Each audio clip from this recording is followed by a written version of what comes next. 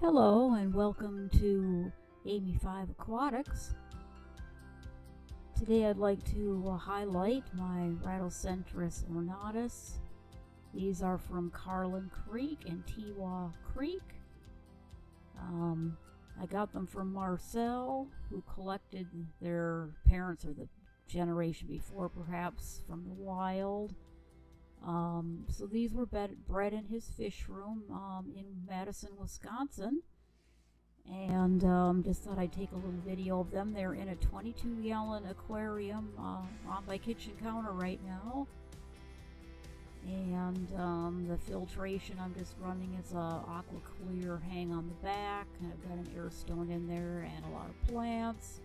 And there are some other species in there. There are some little baby gold laser cories some Sewellia lineata, hillstream loaches, and they've been spawning in there, so there's a couple of babies. Most of them, of course, get, I'm sure, eaten.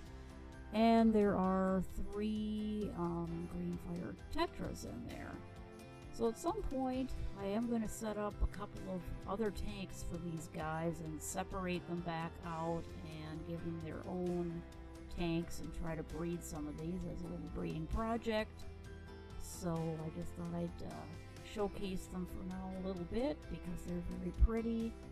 When I first got them, they were a little bit shy, but once they settled in, uh, they are not shy anymore. As soon as I'm in the kitchen, they are right there, all eyeballs on me, looking to see if I'm reaching for the food. Like most rainbow fish, of course, as anybody who keeps rainbows can attest to. Um, they're not shy once they get used to you and uh, know where the food comes from. So thanks for stopping by. Hope you enjoy the footage of these very pretty fish from Australia.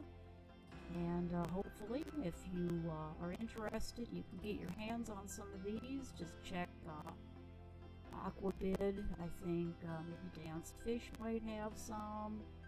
But I think if you probably Googled it, you'd be able to find maybe some other sources. But they are, they only get, oh, just another little aside before I sign off here.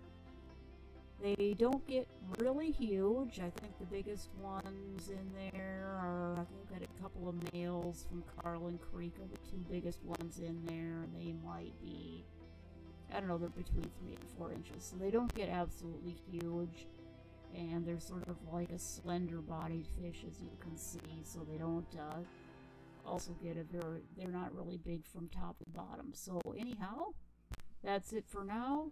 Enjoy the footage and thanks for stopping by